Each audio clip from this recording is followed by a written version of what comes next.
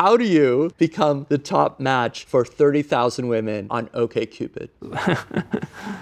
uh, this is my secret life. This is my secret life. This is my secret life. I love this one. It's about a math whiz who hacked his way to true love. I applied to graduate schools in applied math and was fortunate to get a full ride at UCLA. In my sixth year, my funding ran out. I had to live on $400 a month instead of $1,200 a month. So I decided I would move into my thesis cubicle. I would spread out a little foam pad on top of my desk to sleep.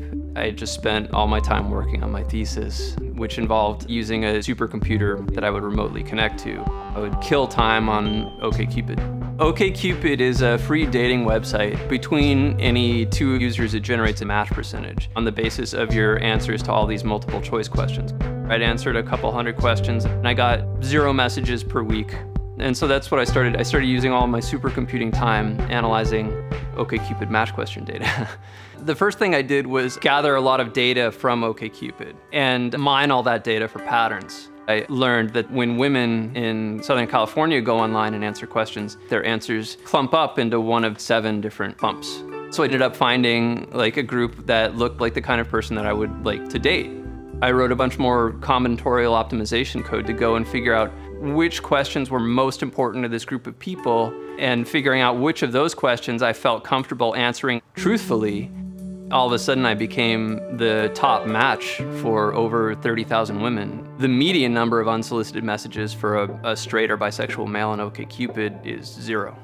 But I was getting 10 or so unsolicited messages every day.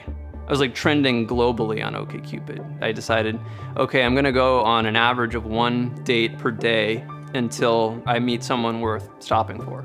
The first date I, I went on, I like leave my cubicle and shower uh, at the gym and I meet this person and one of the first things she says to me is, I've never seen a 100% match before.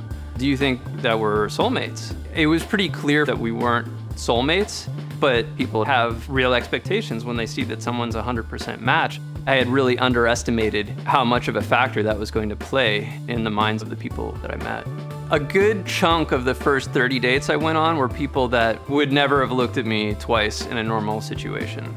So what did you do to minimize the chances that someone might get hurt?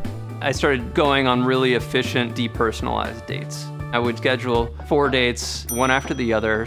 Obviously, this is a weird way to go about dating, and I began to question, like, what what is it I'm doing? Do I really want to meet someone? But I kind of stuck with it until I got to date number 88.